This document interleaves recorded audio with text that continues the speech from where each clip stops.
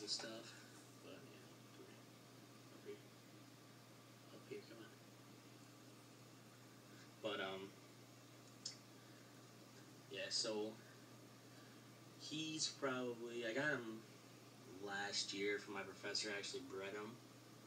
Um but he's a really good turtle. I like him a lot. Oh, there he goes in and eats them. So you'll see uh, how messy he is when he eats this.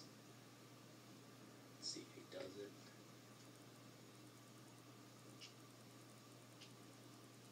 Oh, that one he's what? No.